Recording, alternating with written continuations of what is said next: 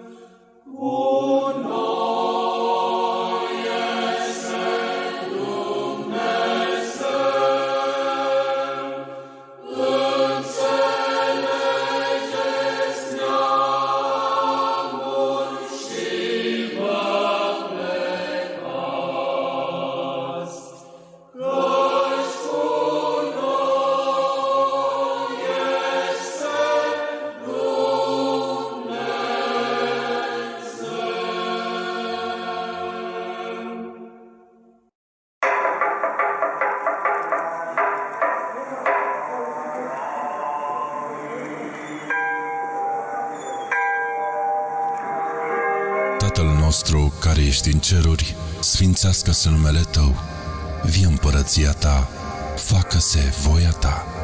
Precum în cer, așa și pe pământ, pâinea noastră cea de toate zilele, dă-ne-o nouă astăzi și ne iartă nouă greșelile noastre, precum și noi iertăm greșiților noștri. Și nu ne duce pre noi în ispită, ci ne izbăvește de cel rău, ca ta este împărăția, slava și puterea în numele Tatălui, al Fiului, al Sfântului Duh. Amin.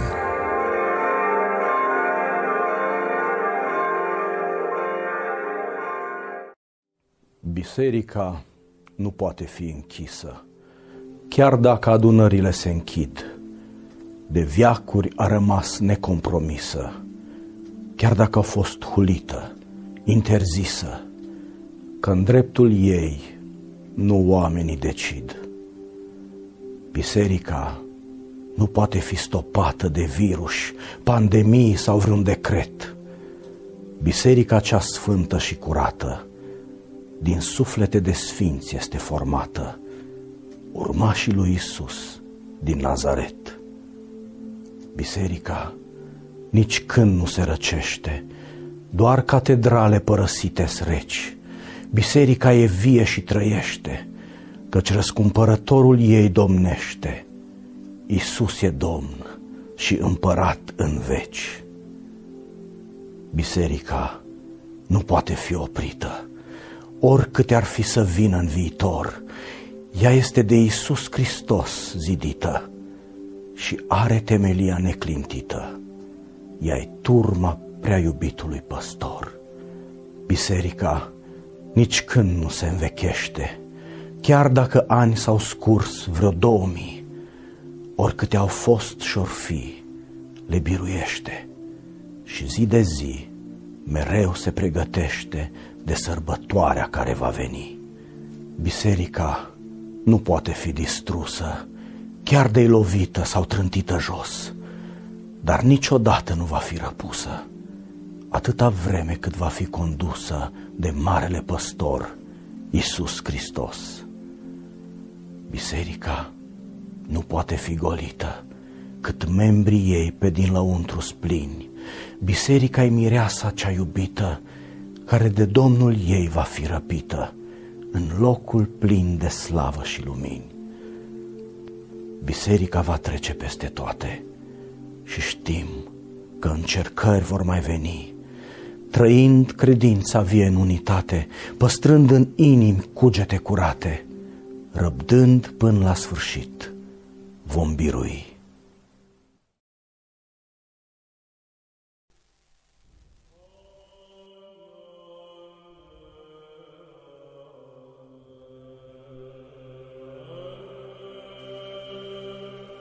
Cred într-unul Dumnezeu, Tatăl Atoțiitorul, Făcătorul cerului și al pământului, văzutelor tuturor și nevăzutelor, și într-unul Domn Iisus Hristos, Fiul lui Dumnezeu, unul născut care din Tatăl s-a născut mai înainte de toți vecii, lumină din lumină, Dumnezeu adevărat, din Dumnezeu adevărat, născut iar nu făcut, cel de o ființă cu Tatăl, prin care toate s-au făcut, care pentru noi oameni și pentru a noastră mântuire s-a pogorât din ceruri și s-a întrupat de la Duhul Sfânt și din Fecioara Maria și s-a făcut om și s-a restignit pentru noi în zilele lui Ponțiu Pilat și a pătimit și s-a îngropat și a înviat a treia zi după Scripturi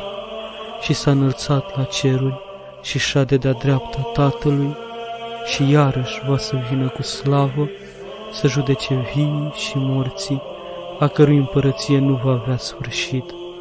Și într Duhul Sfânt, Domnul de viață făcătorul, care din Tatăl purcede, cela ce împreună cu Tatăl și cu Fiul este închinat și slăvit, care le-a grăit prin proroci, într-una sfântă, sobornicească și apostolească biserică, mărturisesc un botez spre iertarea păcatelor, aștept învierea morților și viața veacului ce va să vie. Amin.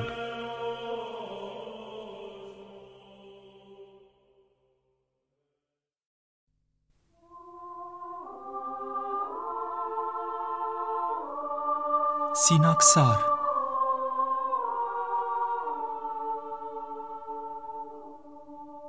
Astăzi, 27 martie, biserica noastră drept măritoare face pomenirea Sfintei Mucenițe Matroana, cea din Tesalonic. Sfânta Muceniță Matroana a trăit în secolele 3-4 după Hristos, fiind slujnică în casa unei evreice, era creștină și avea multe de suferit, întrucât stăpâna sa voia să o treacă la credința evreiască. Bătută și chiar întemnițată, a murit ca mărturisitoare pentru Hristos, trupul ei fiind aruncat de pe zidurile închisorii.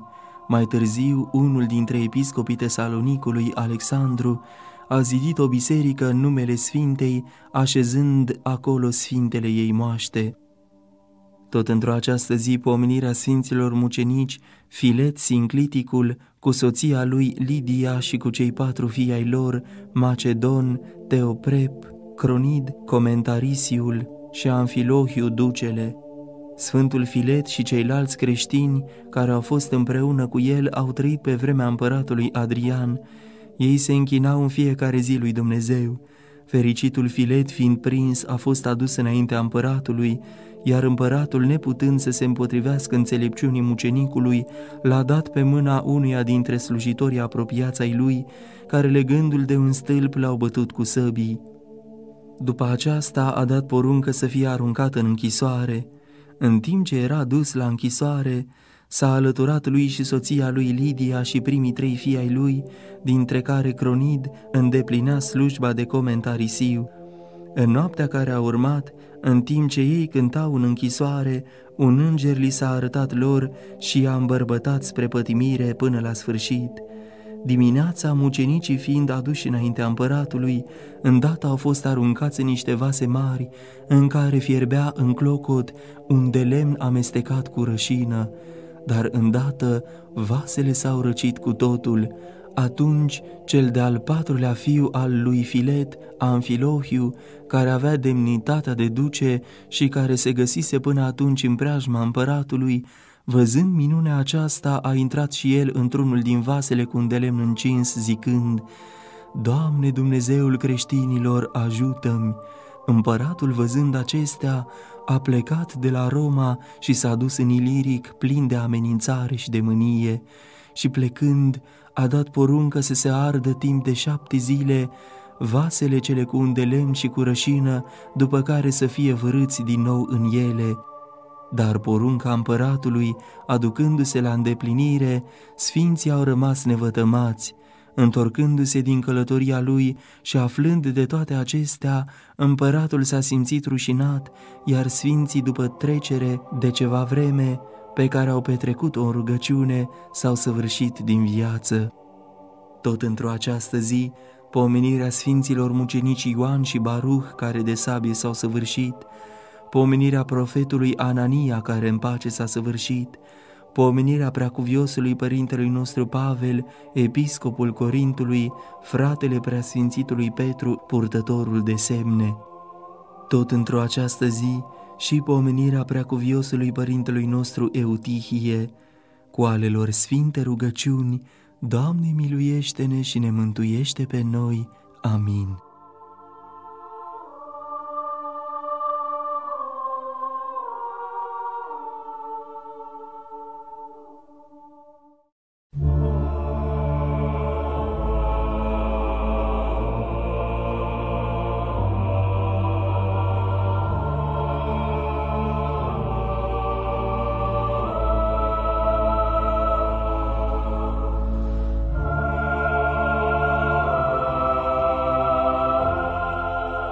10 porunci, Decalogul 1.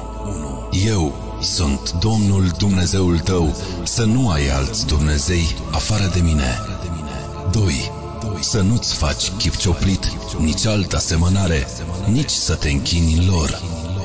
3. Să nu iei numele Domnului Dumnezeului tău în deșert. 4. Adu-ți aminte de ziua Domnului și o cinstește. 5. Cinstește pe tatăl tău și pe mama ta, ca bine să-ți fie și mulți ani să trăiești pe pământ. 6. Să nu ucizi. 7. Să nu fii desfrânat. 8. Să nu furi. 9.